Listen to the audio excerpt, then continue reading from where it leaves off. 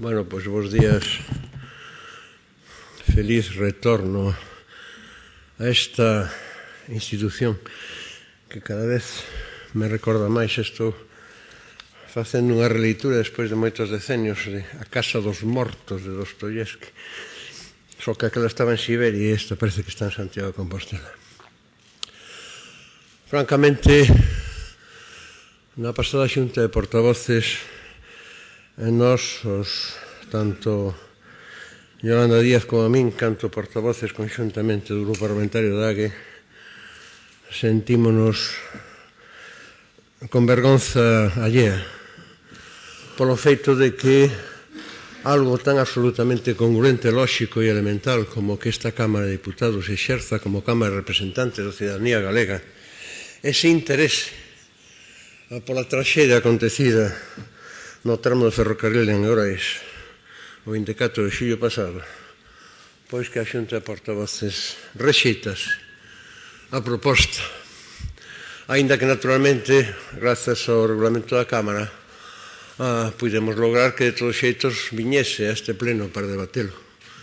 Pero agora resulta que tampouco hai debate. Por xunto cinco minutos para tratar esta cuestión. En cinco minutos despáchase a traxida que costou 79 mortos. Así, dun, dun golpe, na noite do 24 de xullo. E todo o que está de despois e de antes. Eu teño aquí unha relación que é a cronoloxía do accidente de Angrois a partir dese momento. Non vou perder o pouco tempo de que dispoño, xa non me queda máis que 2 minutos e 14 segundos, agora 13, agora 12 e agora 11, para seguir falando do asunto. O grave é o que está antes.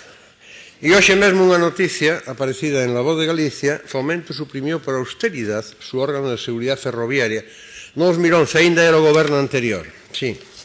Se cadra por eso polo que somos o único grupo conxuntamente co PSOE en que solicitou esta comisión de investigación. Entón, pregúntome a servicio de quen está esta Cámara? Dos cidadáns que elexiron? ou dos intereses dos grupos maioritarios ou partidos maioritarios con seus compromisos, os seus erros ou os seus eh, buratos negros ou zonas escuras nas sucesivos gobernos alternantes no Estado, nada menos que desde 1979 até hoxe. Vostedes creen que isto é unha Cámara de Diputados merecente tal nome? Eu afirmo que o que aconteceu en Angrois non é un accidente ferroviario, nin unha catástrofe natural, é un homicidio involuntario. Calquera de nós conducindo un automóvil de maneira imprudente e temeraria, se matamos unha persona seríamos acusados de homicidio involuntario. Pero o homicidio involuntario non é o maquinista, o homicidio involuntario é o aparato de poder do Estado que incumpriu os seus deberes coa ciudadanía en canto á seguridade que estafou, que malversou fondos seguramente e que ademais mentiu aos cidadáns, aínda hoxe.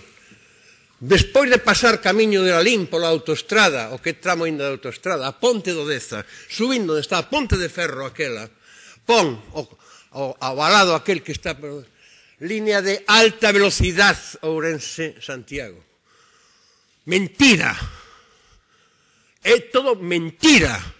E vostedes por eso se negan a que haxa unha comisión de investigación deste Parlamento. E nós non fiamos nas comisións de organización de investigación que organicen os propios responsables desta traxedia. Por eso reclamamos aquí. E vostedes teñen que escoller entre servir aos cidadáns galegos ou estar ao servicio dos estafadores, dos responsables, dos culpables deste homicidio masivo e involuntario que foi a catástrofe de Angola. Moitas gracias. Señorías, o señora presidenta o deputado que do Grupo Popular que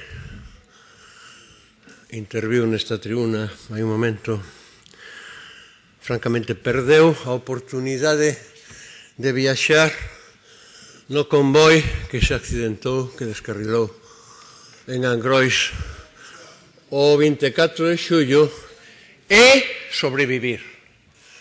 Porque se fose así, seguramente faría como a deputada madrileña do Partido Popular chamada Teresa Gómez Limón e non Xosé Manuel Beiras que dixo, chamou terroristas aos presidentes de Adif e de Renfe, públicamente.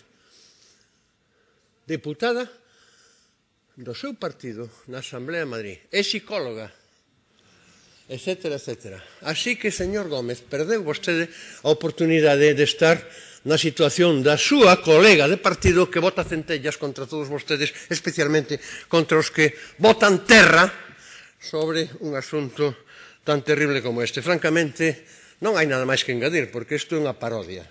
Para empezar, os grupos que presentamos temos o mesmo tempo que cada un dos demais grupos por separado. Aquí dá o mesmo, e, por lo tanto, a mitade que vostedes. Verán, saben de que me estaba Que imaxes me estaban vindo á cabeza cando, cando estaba aí aturando as cousas que decía o Partido Popular porque supoño que representa o señor Gómez que sempre acusan e fan como os criminais que sempre volven ao lugar do crime. Neste caso o lugar do crime son os valores que vostedes violan todos os días. E vostedes sistemáticamente invocan a ética. Están violando a ética todos os días. E invocan.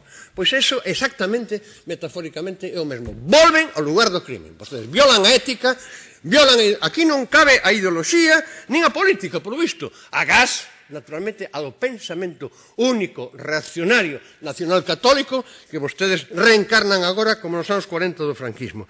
E saben o que imaxes me viñan? dos filmes norteamericanos sobre os procesos al Capone ou aos membros da mafia del padrino. Os abogados, aqueles comprados, e os xurados tamén comprados que ás veces tiñan que cambiar de xurado cando había un xizo honesto para que pudese a ver a verdade. Ou tamén os procesos aos negros na Norteamérica profunda do sur de Alabama e compañía. Aquí somos os negros Os galegos somos negros. Coa desventaxa de que cando nos ollamos no espello non nos vemos brancos, vemos brancos, non nos damos de conta de que somos negros. E vostedes son como os cipallos dos exércitos coloniales nas colonias e van a acabar como eses cipallos, como en queimadas. Non? Moitas grazas.